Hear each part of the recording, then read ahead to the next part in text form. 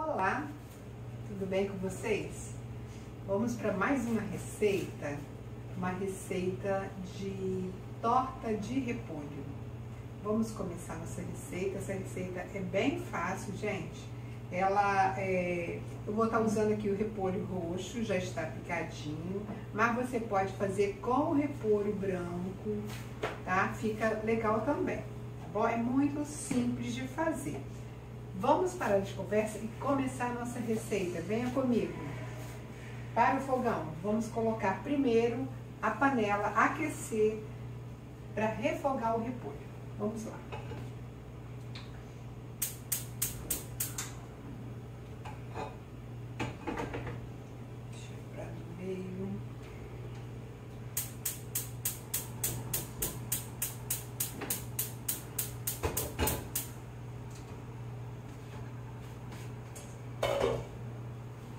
Vamos começar dourando o alho e a cebola. Nós vamos começar colocando um pouquinho de azeite. Acho que tem que fazer pra cá. Agora eu vou jogar a cebola. Primeiro a cebola, tá, gente? Não, nunca o alho primeiro, porque ele pode amargar. E a cebola não deixa, tá? Vamos lá. Uma douradinha na cebola.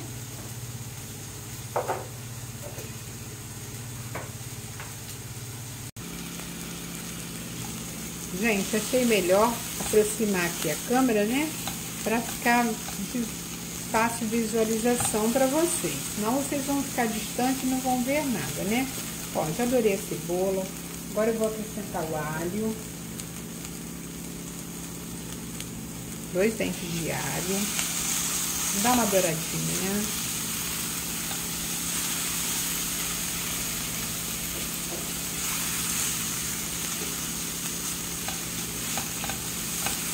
Melhor, né? Ficar de pertinho. Agora eu vou acrescentar o repolho. Olha o repolho roxo, que bonito.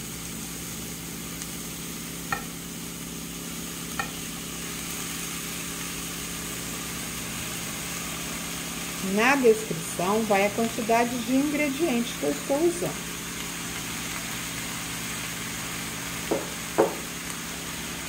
Sal. Eu uso sempre sal rosa. Agora eu vou acrescentar aqui uma colher de chamichurri. É um temperinho que eu tenho aqui, o. Se vocês não tiverem chamichurri, qualquer outro temperinho também fica bacana, tá? É, é sem pimenta, tá? E é natural. Você pode estar colocando ervas finas também, dá um sabor bem especial. Vou acrescentar azeitona verde. Você pode acrescentar azeitona preta também.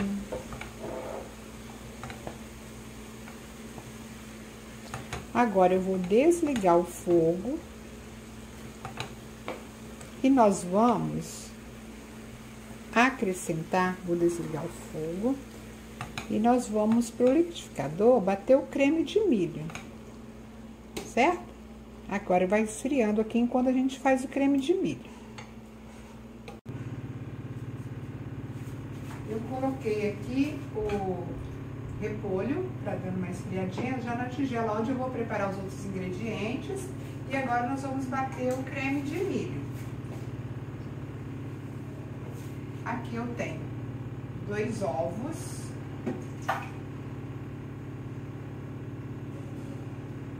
Milho, eu coloquei uma lata de milho e a metade da água. E não estou colocando toda a água não, tá, gente? Só a metade da água. Queijo parmesão. Vou bater tudo junto e um creme de leite. Agora nós vamos bater.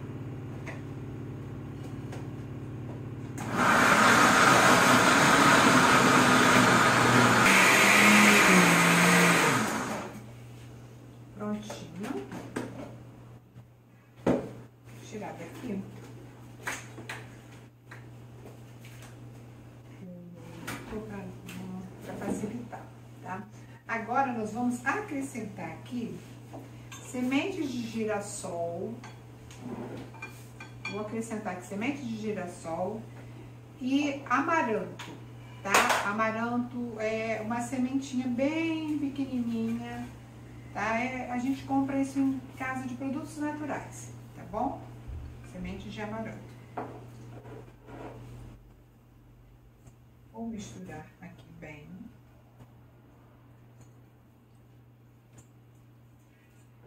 Se você quiser também colocar um pouquinho de pimenta do reino, pode, tá, gente? Fica uma delícia. Eu não coloco sempre em todas as receitas, porque aqui em casa a gente quase não usa pimenta do reino. Em algumas receitas eu coloco sim, mas nessa aqui eu não vou colocar.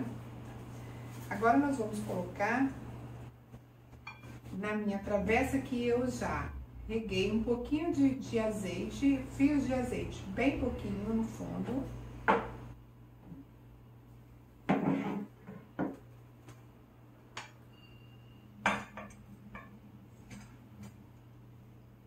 Camada de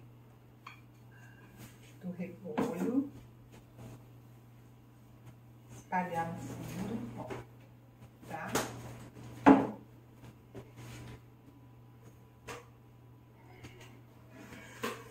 Um pouco da, do creme, do milho.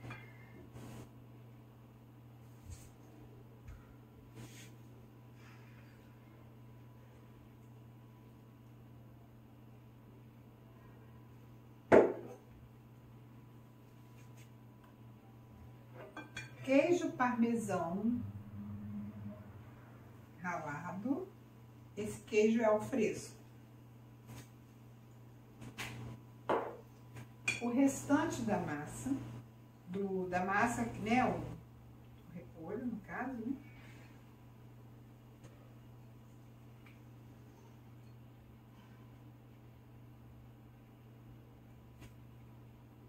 Receita fácil de fazer, né, gente?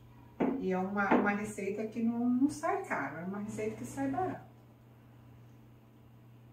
Repolho é baratinho.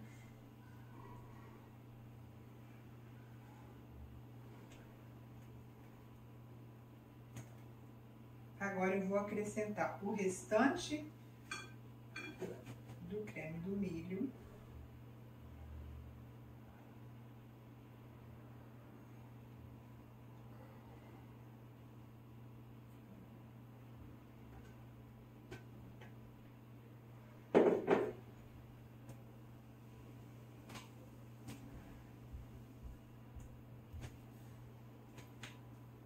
Quer receita fácil?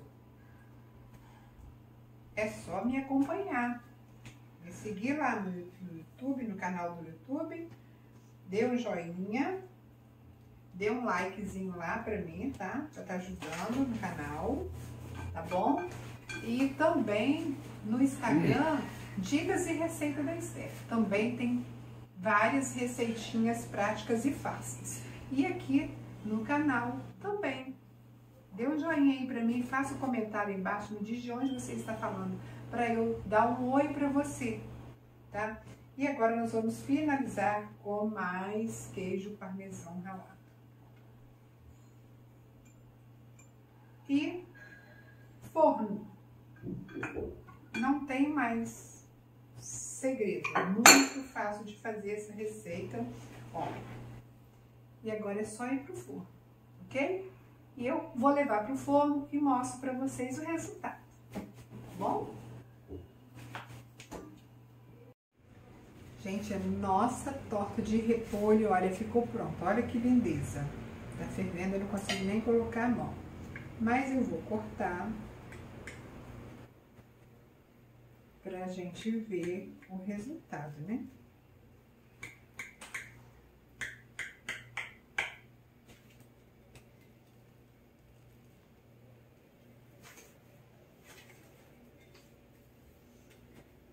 Vamos ver como ficou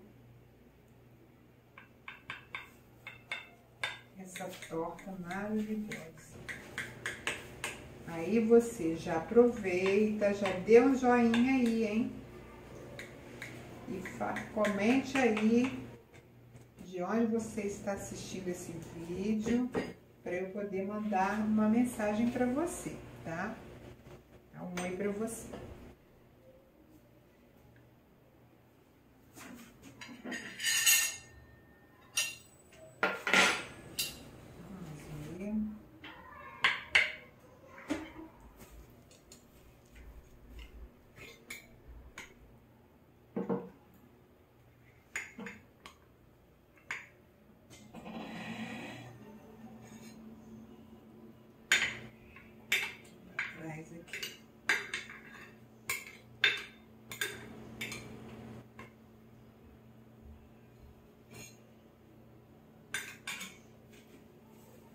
Olha que bonito, olha. Ela só ficou um pouco baixa por né, quantidade de ingredientes, mas a gente pode dobrar a receita também para ela ficar numa altura maior, tá? Mas agora nós vamos à hora da maldade. Vamos provar, né? Vamos provar. Hora da maldade tenho que provar, né, gente? Pra mostrar pra vocês como ficou. Saber se ficou boa ou não, né? Eu vou fazer o um comentário. Se ficou boa, né? Vamos lá.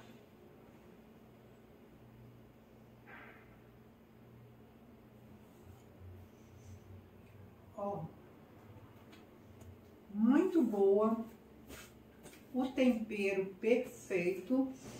Vou passar na descrição a quantidade de ingredientes, o material que eu usei, tá? Para você estar tá fazendo aí na sua casa, para você e para sua família.